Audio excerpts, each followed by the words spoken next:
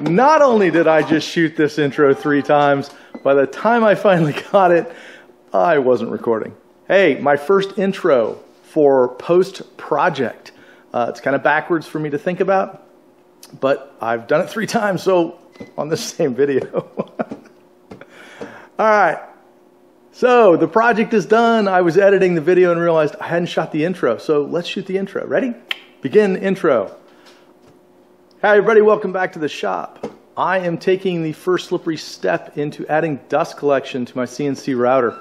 Some of you have uh, suggested repeatedly that uh, this was something I should do, and I agreed.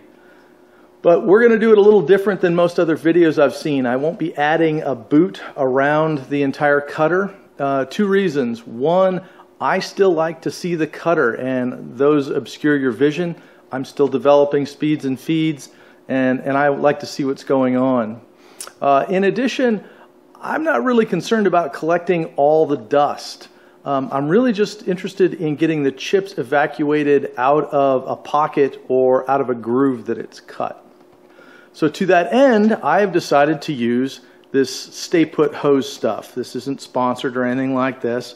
Um, but I'm going to use this much like uh, a coolant hose does on a, uh, a metalworking machine where you're spraying coolant in, I'm to get this phone. I swear to I haven't gotten a text all day. Okay, we're turning the volume down on our phone this time. Take four, no kidding. So, before this intro gets goofed up one more time, let's get into the video and you can see what I did. I would highly encourage you to watch to the end because although this is the concept, this was not what I wound up using. So, see at the end of the video, there's also some phone. There's also some gratuitous footage of the machine running and uh, the chip extraction going on. So you want to see that. And let's just go get right with it. All right, now that that intro fiasco is over, uh, first thing I had to do was cut out some sheet metal that I was going to use as the mount for the tube. Believe it or not, dreaming up what I wanted to do to hold the tube has been some of the delaying factor uh, for actually doing this project. I've had the, the stay put hose for quite a while.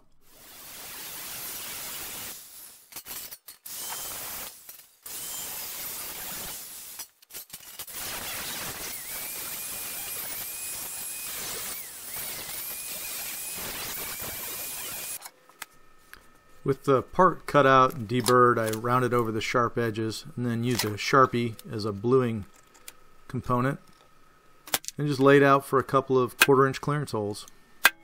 Quick center punch, clearance drill, and drill. Next thing was to go to the bench vise and uh, got a little creative with a piece of pipe and some clamps and bent it around until it looked right. It took a couple of times going back and forth till it got something that I felt would hold the hose without it rolling around. My plan is to use uh, Velcro strapping to hold it in.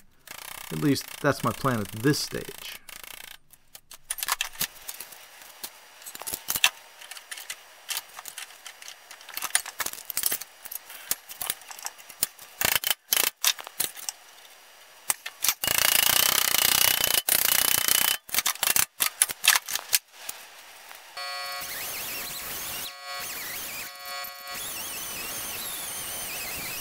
I removed the hammer marks and vise marks with a Scotch-Brite pad and then sealed the metal so it wouldn't rust using my favorite technique, ignition and battery sealer.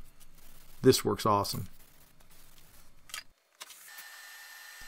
I laid out for the holes that I needed to drill and tap on the side of the Z-axis. That's a piece of half-inch aluminum I'm drilling into.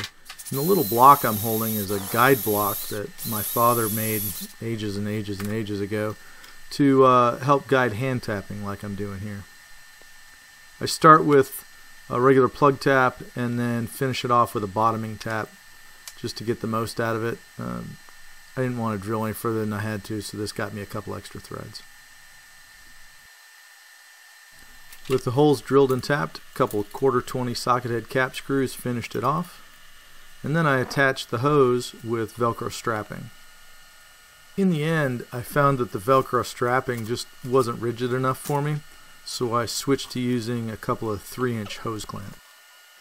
Okay, it's time to wire this thing up. What I'm going to use is this thing called a power tail. It's actually the power tail 2. And really all it is is a very nicely packaged relay that can be triggered with signal level uh, controls. Uh, you find these, this one happens to be made by a company called Adafruit, or at least marketed by Adafruit. Um, they used to be available on Amazon. There's now another one, uh, doesn't have the tails involved, but uh, does the same thing. Basically just a place to connect a line level signal, which trips the relay, and nicely packaged sanitary job for working with mains power. Here we are in the, the business side of my controller box.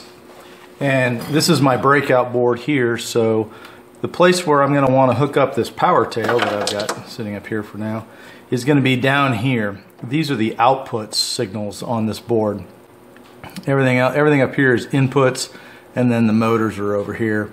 So right now my outputs are only one, and that's for my touch-off block. That leaves two more. There's three screws, one of them's a ground. So what we're gonna do with them right there close, move the camera around here a little bit. I'm gonna mount the power tail right here, just right on the side. I was gonna mount it on the machine itself, but I've decided I'd just like to soon keep it here. I mean, it can be used to switch anything. So I'm gonna put a couple zip screws in and hold this on. We'll run a couple of short wires and we'll see if it goes.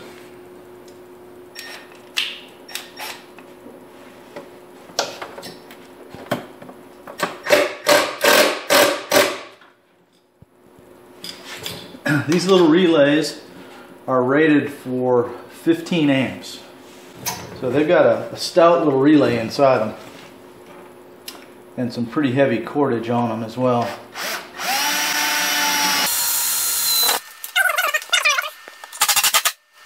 Now I just need a little hole for the signal wire to come through.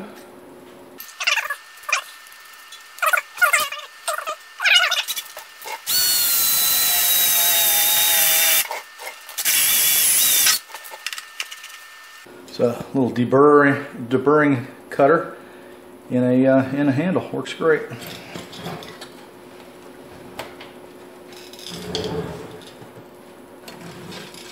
This pin here on the left, or terminal, is 14, and the middle one is ground.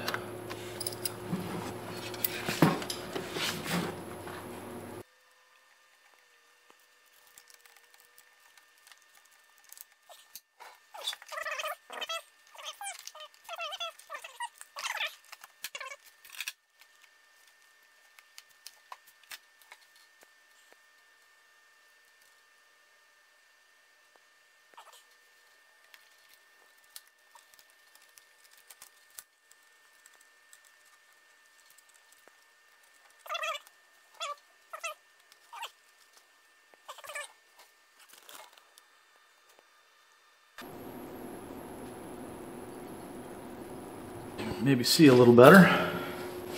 So here's my two leads and I'll connect to the positive in and the negative in.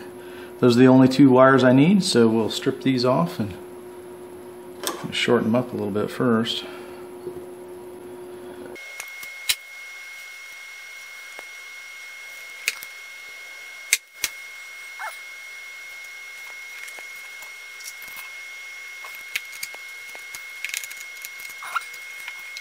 Let's fire up Mach 3 and configure this pin and see if we can make it activate. There's a red LED right back here that'll go on. Alright, here we are in Mach 3 and we're going to go into configure ports and pins and I'm sorry this computer doesn't have enough cojones to run screen capture because I hate filming a screen we'll have to do with what we got. Under output signals, because that's what we're doing, the board is outputting a signal to something it hopes is listening. If we scroll down here, I set up output number four. I've enabled it with this checkbox. I've said it's on port one. And this is if you've got one or two parallel ports. I only have one. And then here you can see I put in pin number 14, which is the one we just wired it to. Active low is off.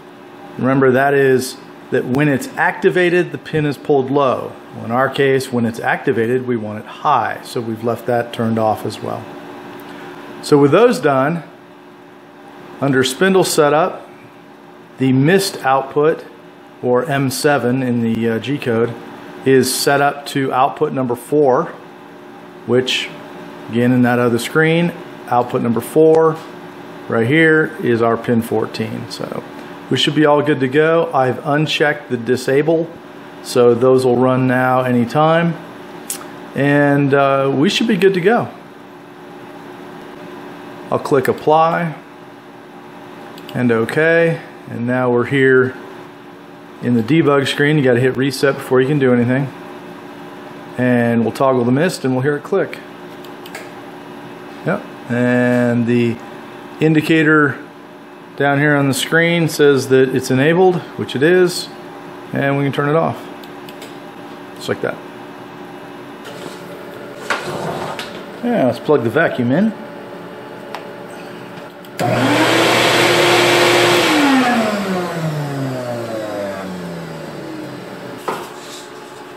My plan here is to get it all wired up, get this mount done, and then try it out before I went any further.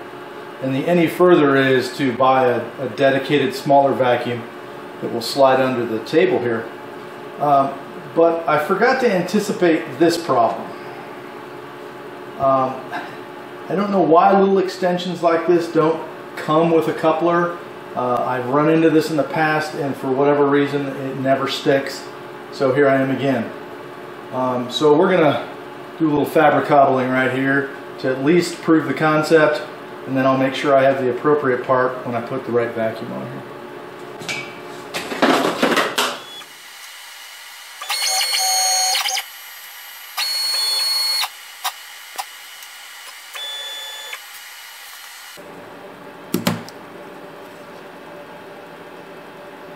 Just not real fond of that yet.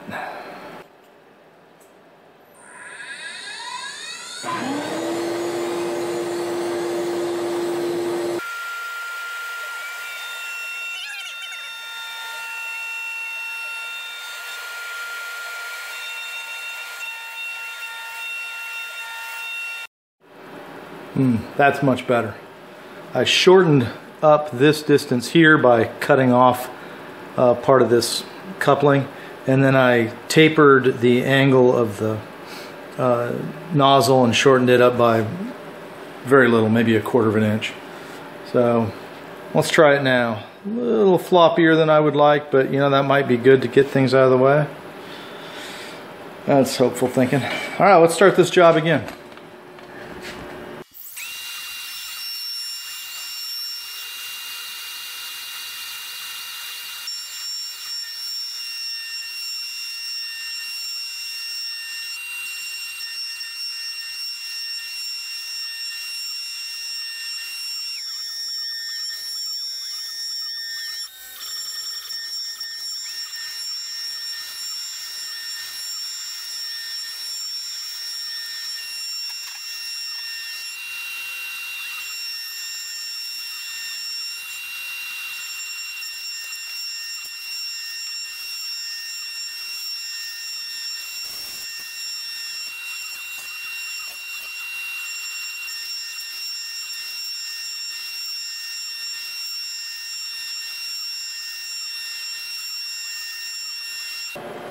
It's no surprise that it doesn't do anything when the chips are being thrown out in the opposite direction. And honestly, I'm okay with that.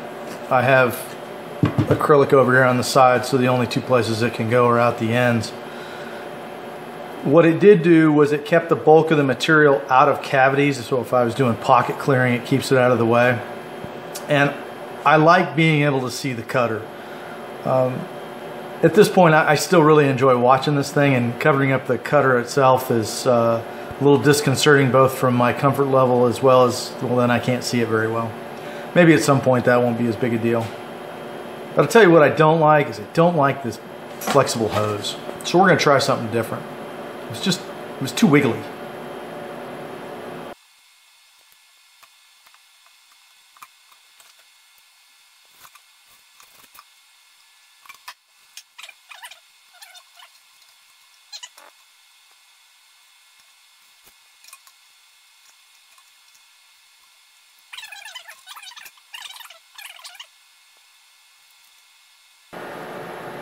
Oh yeah, this is way more rigid. I'm gonna have the same problem hooking the hose up. Yep, same problem, different size. At least that one fits. All I gotta do is monkey duct tape that there.